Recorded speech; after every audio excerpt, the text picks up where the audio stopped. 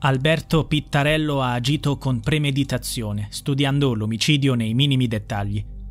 Si tratta dell'indagine volta a svelare un altro tragico caso di femminicidio avvenuto a Bovolenta, Padova, martedì 27 febbraio. La vittima è Sara Buratin, una donna e madre di una ragazza di 16 anni. Il suo assassino è il marito Alberto Pittarello. Sara si era trasferita dalla madre in quanto desiderava allontanarsi da lui.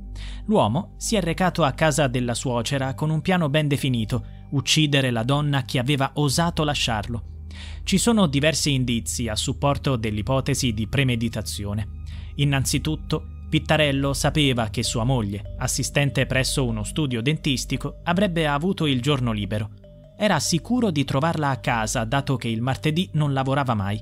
Egli, un tecnico manutentore di caldaie, aveva richiesto e ottenuto un giorno di ferie senza che nessuno potesse immaginare il motivo. Martedì mattina, Pittarello ha telefonato alla suocera, Maria Grazia Pasquetto, comunicandole l'intenzione di passare da casa sua per lasciare lo scooter alla figlia. La donna ha risposto: Vieni, io non ci sono, ma trovi Sara. Probabilmente era solo un inganno per verificare se la moglie si trovava in casa da sola o con la madre. Dopo essersi assicurato di avere campo libero, l'uomo ha messo in atto il suo piano. Una telecamera ha registrato il preciso momento del suo arrivo di fronte all'abitazione della suocera. Erano le 10.05. Sara però era già uscita. Indossava una tuta e un paio di scarpe da ginnastica, in attesa del marito, che era stato avvisato dalla madre. Quando è giunto, insieme hanno scaricato lo scooter dal furgone e lo hanno parcheggiato nel garage sul retro dell'edificio ma nel momento in cui la povera donna ha voltato le spalle al marito, egli l'ha attaccata con 20 coltellate alla schiena e al collo, usando un coltello da escursionista. I primi due colpi, sferrati tra collo e nuca, si sono rivelati fatali. Molti altri sono stati inflitti mentre Sara era già a terra, in uno stato di agonia. Subito dopo l'uomo ha gettato a terra il coltello ed è scappato. Erano appena passate le dieci e mezza. Una vicina lo ha visto allontanarsi a bordo del furgone. Alle 11 la madre Maria Grazia è tornata a casa e ha fatto la terribile scoperta. Il corpo della figlia giaceva nel capanno degli attrezzi. Sconvolta e in stato di shock, ha cercato di praticare un massaggio cardiaco nella vana speranza che Sara fosse ancora viva, ma la giovane donna era già deceduta. Il suo cuore aveva cessato di battere dopo i primi due colpi L'autopsia verrà eseguita per fugare ogni dubbio sull'orario del decesso.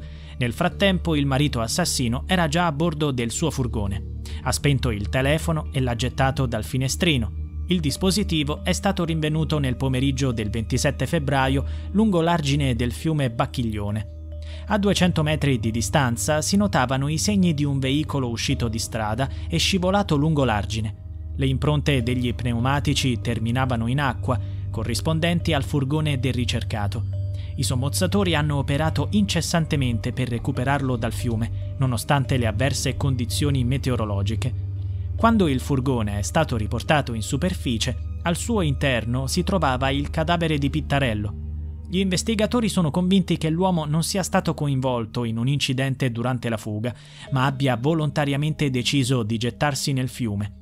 La sua morte, evidentemente, faceva parte del suo macabro piano. Le indagini continuano senza interruzioni. La procura ha ricostruito gli ultimi giorni del presunto assassino.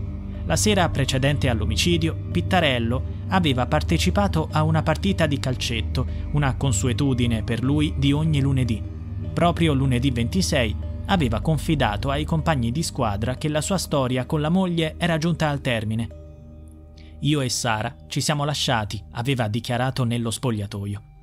Il dirigente della squadra, Stefano Luise, ha raccontato. Da qualche tempo era abbattuto, ma non avremmo mai pensato che potesse succedere tutto questo. E nemmeno la madre di Sara temeva un epilogo del genere. Ha dichiarato al pubblico ministero. Mia figlia stava con me da qualche giorno, aveva lasciato il marito, ma io non li avevo mai visti nemmeno litigare. Eppure, Pittarello, non ha agito in preda a un raptus, ma piuttosto al culmine di un piano diabolico studiato nei minimi dettagli. Una storia veramente terribile.